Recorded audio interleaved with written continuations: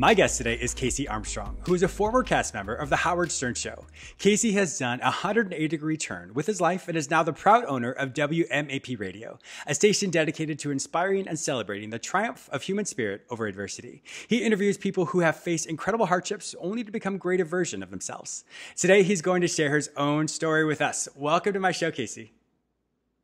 Hey, thank you so much. Uh, it's an honor for me to be here. Uh, this is a, a huge show, and uh, you've you've done incredible things, and uh, I'm so excited to be here. So thank you for inviting me. you are very welcome. No, I'm truly honored as well. I mean, you have. I was looking at your your backstory, all the things you've done. I was like, oh my gosh, I knew I heard about you with the Howard Stern show, but I kept reading more and more. I was like, wow, he has done a lot. So congratulations.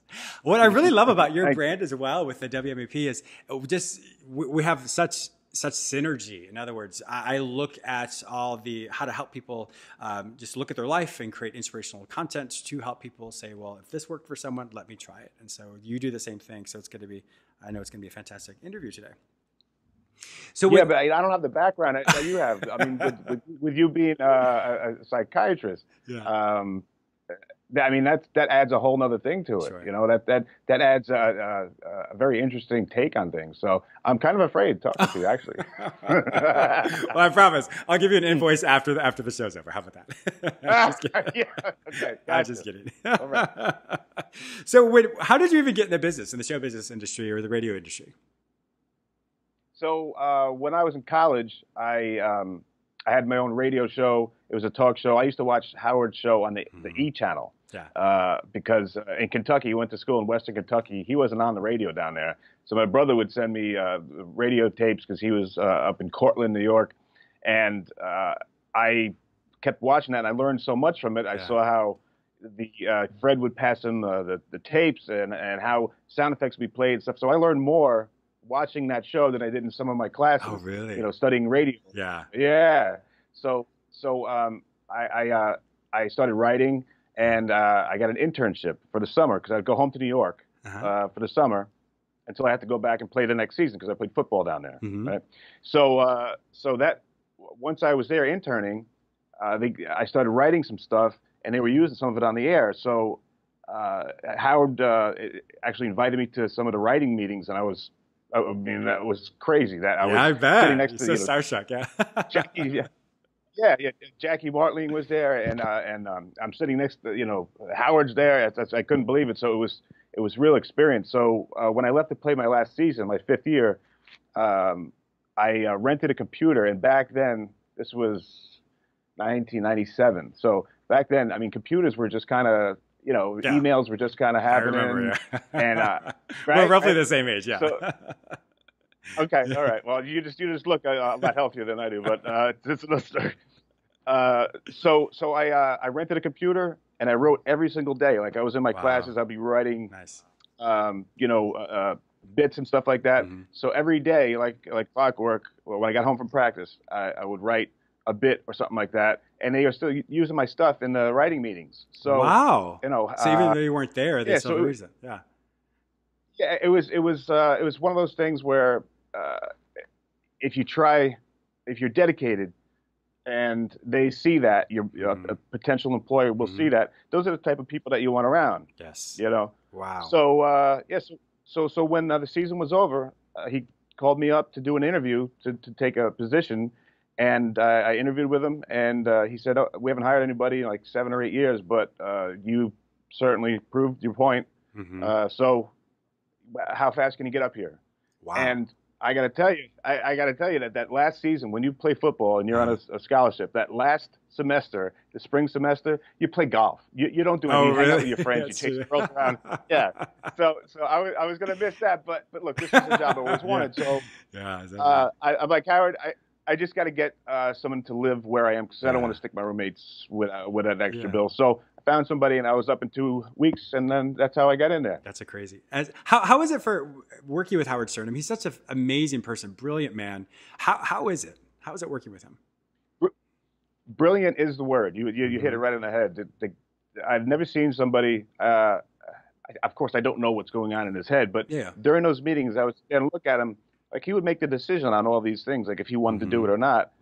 And uh, you know, we pitch him idea or something like that, and it is you know see him thinking and he was able to right there make a decision not like oh maybe we should maybe not maybe he'd say okay we're gonna do it we'll do it this way this is a good excuse me this is a good idea mm-hmm. and to have that uh, that ability to make a decision and to know what's good for your show yeah.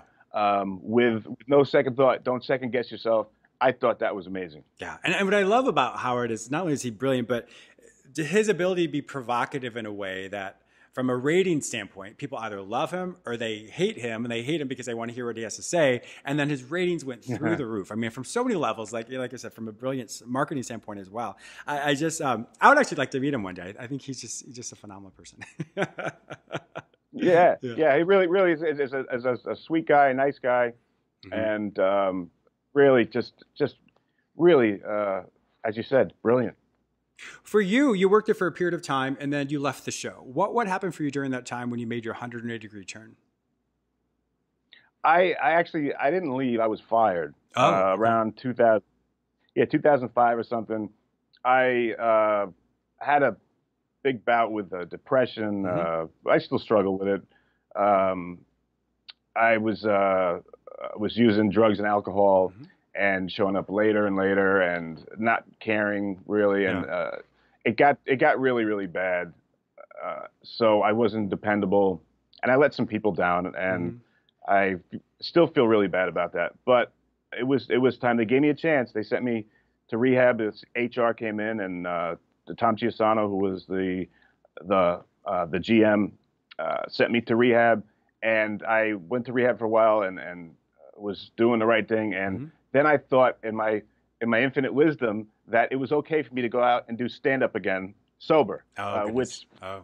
never never really did that before. Yeah. You know, you always had to have you know, a couple of drinks. So I'm already so nervous was, thinking um, about that for you. I'm like, oh my gosh, stand up alone is hard, but yeah, yeah. Wow. Yeah. Well, how did that go? Okay, so uh, I'm sure you know where this is going. Uh, I just remembered that last meeting and telling yeah. the, the, the group. I never really speak in the groups or whatever, but I said, look, I, I am going to go do stand up this this weekend. I haven't done it for six or seven months. Uh, I'm going to go do it for the first time sober. And uh, yeah, so so I went to Boston, and uh, the shows I did great on the shows. But turns out when I was supposed to be back for Monday mm-hmm. for all the tests and for the meetings, I didn't get back till Thursday because I was in a oh, hotel oh, okay. with uh, uh, someone else. Uh huh. We, yeah. we were just staying there. Um, not doing the right thing. Sure. Uh, I'm just as a as a younger uh, person, uh, that was what got me. That was the final straw. They said, "Look, mm-hmm. we gave you a chance. We can't do yeah. this anymore." Yeah, and, and, even as you reflect on on that that part of your life, do you see the dis- the difference between who you are today versus who you were then? Totally. Yeah, I, I do. Uh, back then, I had no faith. Mm-hmm. I I blamed God for a lot of things, mm-hmm. and uh, depression depression will make you throw yourself away. I mean, yeah. it, it really, as as you know, I'm sure that uh, you you you know a lot about this, but uh, it's it's uh, man, it, it it's tough uh, when you don't mm-hmm. care about things, mm-hmm. you don't care about the outcomes. And you don't really think about them, so yeah. responsibility kind of goes out the window. Yeah. And you and it, and when you know what's going to happen, you know to get fired. Now what happens? What do you do now? Mm-hmm. You know, you don't really plan for that. So um, I see I see now in my old age that I want to be around. I want to be around people that are, are uh, that are always positive, mm-hmm. uh, that um, that that uh, that bring out the, the, best in each other. You know, mm-hmm. there are yeah, other some people that, you know what I mean? Like mm-hmm. there's people like your group, but so so. Um, well, you become your group. Yeah. You become the people that. So in psychology, we have what's called the the law of the group. So in other words, it's really the average. So if someone is really really motivational and someone isn't as motivational, you'll find that the average turns to this. So the one who's not as motivational will become more motivational. The person who is motivational will all of a sudden become less motivational. So that's why, just like in sports, you always want to play up. One of my favorite quotes is, You can't hang out with chickens and expect to soar with eagles. And to me, I love that quote. Great. awesome. Yeah, because, yeah, I love that. Yeah, because yeah. the more you want to grow and develop, you can't you can't be at the top of your game in your friend group. As, as amazing as they are, but in order to get to the next level, you have to level up. So just like what you're saying there as well, you want to surround yourself That's with a, healthier people. Yeah. It's a great point, and, and that's that's a that's a great observation, and, and it's it's so true. It, it, reminds me kind of the only way I got better in football was I I used in, in the weight room as I would work out with the linemen. Yeah, and, exactly. And they were you know they were ten times uh, stronger mm-hmm. than me, and like you said, me and them would bring up to, to have yeah. just by working out with exactly. people that exactly. that are stronger. So that, that's that's that's a great. Uh, I, I can remember that. That's, that's a great uh, observation. Well, it was as your journey continued. How did you then purchase this amazing station, WMAP? Uh, actually, it, it we built it from from nothing. I, I, it started in a place I used to live in called East Moriches, mm-hmm. and it was a house. It was a house that I was renting, and in the back there was a, a very small room that was all glass and it was facing the water, so it was oh, cool. Oh, wow, wow. And That's I tur- and I, I tur- it, it, was great. To, to, so the microphone was pointed out, and you'd watch the boats, and it was it was really cool. But it wasn't a radio studio, and we probably had two two listeners. There's probably maybe my mom would listen every once in a while, and maybe a staff member or something. It's like how my show but, started. Uh, right, really... but it's turned into what it is, you know. Yeah. So so uh, from there, uh, we were there for about like a, a year, kind of just seeing how the things worked and everything. And finally, we were getting uh, a little more, uh, a little more press, uh, some more listeners, and making uh, a little, little more money with advertisers. So was able to move into the next place, which was two rooms in the mm-hmm. back of uh, a friend's uh, medical billing supply company.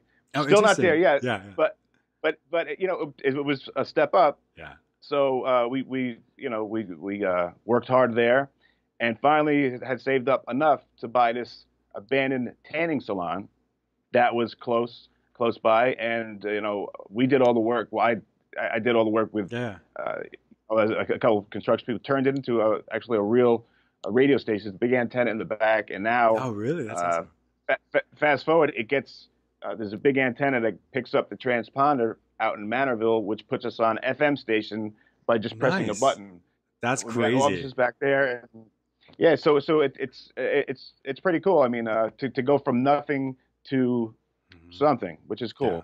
Yeah. yeah. So is simulcast? Is that what you're saying? You simulcast it from AM FM? Yes. Awesome. Oh, that's yeah. great. Oh, that's really yeah. cool. That is yeah. neat. With but it's it's it's a show. Yeah. With it's a show every uh, uh, Monday through Friday, and then the rest is 24 seven on MAP, which is uh, internet, uh, which is heard in 105 uh, countries. But the wow. FM is just just in Long Island and uh, we used to have Florida, but we're going to add a couple of FMs, which uh, which is weird. I want to get your thoughts on that. What do you think FM's going? You know, that's a great question. It's um, it's interesting. I've I've had when I started it was on podcasts, and then when I switched over to I'm on FM and AM stations, and then obviously then you have the digital as well. So you have there's so many different people who say podcasts are the new wave. You know, that's what's happened for a while. But I mean, you still can't. When I look at my numbers, it's majority of them are still FM players. And so there's a lot of individuals who still listen to it. So I think it's still a really viable market.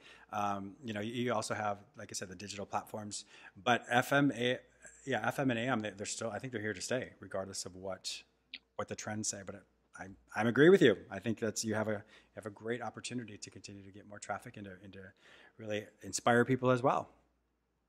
Well, uh, thanks. Yeah, I, I, agree with you, man. It's, I don't think that that uh, when you get in a car, I know most most younger people are taking the aux and they're putting in the aux mm-hmm, and they're mm-hmm. listening to podcasts and stuff like that. Yeah. But I don't think you ever replace, you know, just uh, that that dial. I think it will yeah. always be there, like yeah, you said. I agree. Maybe maybe not in the same way it is, but I think it will always be there. Well, the whole thing, just like you, you look at anything as well, it, will morph and evolve to something different. So when it was years ago versus today, I mean, it's still around, but it still has evolved in some way. So regardless of what the trends say, I, I agree with you that FM still will be part of our future as well. How did you go? So you. So, oh, sorry. When you bought when you bought your uh, your station, and then how did you know that you wanted to have inspirational content? Because it, uh, that's how it started. It was mm-hmm. I had just gotten tired of uh, of living a you know making mistakes and mm-hmm. uh, I, you know and that's that's what going back to surrounding yourself with the with the right people. Mm-hmm. I talk to people that inspire me every day, so uh, I'm not I'm not uh, hanging out at, at, the bar every day. Mm-hmm. There's some great stories. Some people inspire me in the yeah. bar, but for the most part, uh, the people that I'm interviewing, six or seven of them of a day, I'm, I'm hearing six or seven people that were supposed to die or were supposed yeah. to lose their job, their family, whatever, but somehow did something good for someone else or for themselves, and now uh, they're living a completely different life. And you hear enough of that stuff, like you were saying before. yeah, you certainly do. Yeah, and that's I know for me, because like, I've, I've I think I'm at my right as of today. I think I have 260 shows um, as of the time of this recording, and I'm sure in the future when it syndicates, you'll hear I'll have a lot more. But for me, I have heard so many amazing stories, just like you. And every time I talk to someone, it encourages me, it inspires me, and then you know I hear what worked for them, like oh, let me try that, and then I hear what didn't work. I'm like, okay, well let's make sure I don't try that. but it really is something because it gives us so much information, so many tools to say yes, regardless of how difficult my life is and what I'm experiencing, there is a way out. It may be painful, but there is a way out. And once we figure that out, that's how the, our, our life can literally launch and develop in an exponential way. Totally. And I had, to, I remember what one of my guests said. He said, if you if you sat with uh, or, or stood with uh, seven or eight people in, in, a circle and you all threw your problems into the middle, uh, if you heard everyone else's problem, you would pretty much most likely go and pick up yours. Yeah, exactly. That's true. It really is true. You have written a so couple. don't have it that bad. Yeah, exactly. You've written a couple really amazing books. Well, they're actually called that. The first one is Simply Amazing, the Special Authors Edition, and Simply Amazing Women. Tell us about this. Oh, cool. Thank you. Uh, yeah. So the first one was uh, Simply Amazing, the Special Authors Edition. Mm-hmm. And what I did was I took uh, 10 people who had, uh, who just wowed me on, on the radio. And it was, kind of almost how the radio thing started and what I learned from each person. So I'm kind of like the guy taking the journey with these people and learning from them. It's just one person. Everybody's going to take their own thing from yeah. each one of their stories.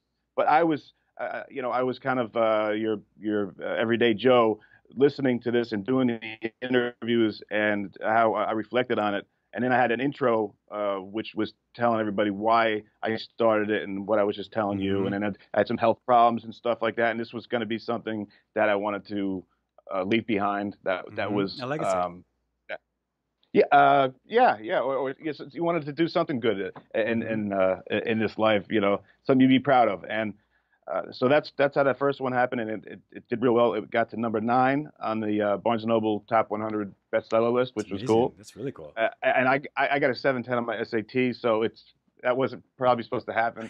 Uh, but but the, the, then the next one is uh, I I focused on the stories of these incredible women. Mm-hmm. So hmm. there's 13 women in the next one, and I always said women are tougher than men, and this case, this yeah. this proves it yeah, this this proves it. You know, there's one story I could I could tell you is that I have a friend who does tattoos. And he said never once in my career has a woman said no, it hurts, stop it. But I get guys all the time saying stop, it hurts.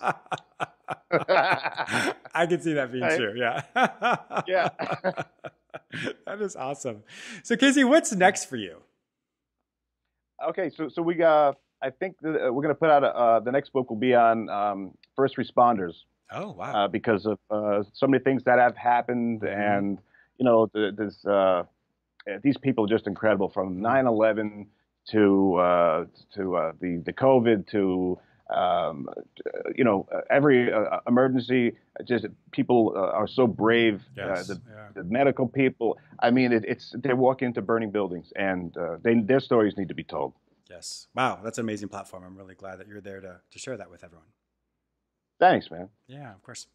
Uh, unfortunately, our time is up. I can't believe it. We literally just flew through all this. if my listeners want to find out more information about you, to purchase your books, to listen to your radio station, uh, I know you said it's on internet as well as FMAM. Where will they find all that information online? Okay, great. Uh, my my uh, radio show is on 24 7. So if you go to WMAPradio.com, mm-hmm. you can hear uh, the show all day and all night.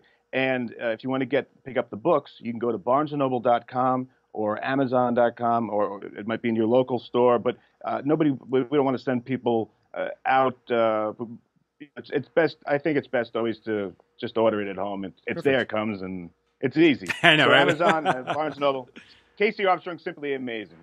There you go. Awesome. So what I would also do, if, if, they're not able to find the information another place, simply go to the show notes in this particular episode at either James Miller, lifeology.com or lifeology.tv, and it will link them to all your social media, to your website, and to, um, to Barnes & Noble as well. So KC, thank you so much for being an awesome guest on my show today. I really appreciate it. James, I, I see why you why you're so popular, man. You do a great interview, and uh, thank you very much. I appreciate it. Thank you.